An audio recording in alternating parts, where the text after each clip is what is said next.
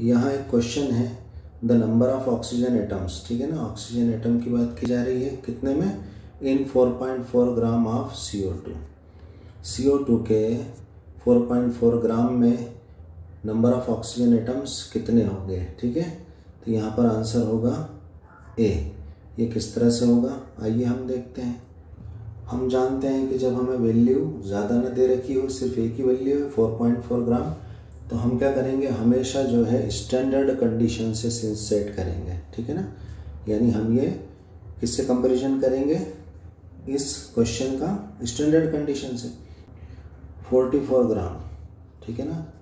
हम जानते हैं 44 ग्राम क्या होता है? कार्बन डाइऑक्साइड का मोलिकुलर वेट होता है। अगर हम C plus O plus O को, अगर इनके एटॉमिक वेट को अगर हम प्लस करें तो ये क्या आ जाएगा?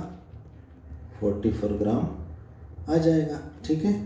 तो यहाँ पर हम जानते हैं कि 44 ग्राम यानी क्या होगा? कार्बन डाइऑक्साइड का वन मोल के इक्वल होता है। ठीक है ना? और हम जानते हैं वन मोल में कितने नंबर ऑफ़ मोलिक्यूल्स होंगे कार्बन डाइऑक्साइड के? Six point zero two three into ten की power twenty three Avogadro number के बराबर ये होता है फोर्टी फोर ग्राम, ठीक है? लेकिन चूँकि हमें यहाँ फोर पॉइंट फोर ग्राम के लिए पूछा गया है, ठीक है ना? तो हम 4.4 ग्राम के मोल्स निकाल लेंगे, क्योंकि हम जानते हैं 44 ग्राम में तो वन मोल होता है। तो हमारा क्या फार्मूला है? मोल्स निकालने का N number of moles is equal to weight upon molecular weight तो हमारा वेट कितना दे रखा है? Four point four gram. तो फोर पॉइंट फोर ग्राम अपन molecular weight forty four gram. तो क्या आ जाएगा हमारा? फोर पॉइंट फोर ग्राम के लिए कार्बन डाइऑक्साइड के मोल्स आ जाएँगे। कितना? पॉइंट वन मोल आ गए हमारे। ठीक है? हमें पता चल गया।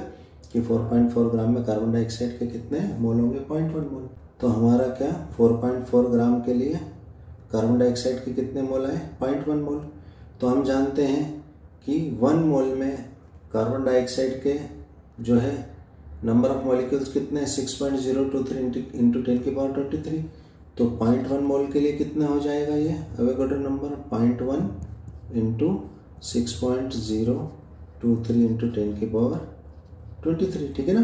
पॉइंट वन में कितने नंबर ऑफ़ कार्बन डाइऑक्साइड के मॉलिक्यूल्स होंगे? ठीक है ना? अब हमें ये पता चल जाएगा पॉइंट वन मोल से तो ये कितना हो जाएगा? सिक्स इंटू टेन की पावर ट्वेंटी टू ठीक है? तो जैसा कि हम जानते हैं कार्बन डाइऑक्साइड के पास ऑक्सीजन के कितने एटम होते हैं? दो एटम होते हैं। तो ऑक्सीजन के दो एटम ठीक है?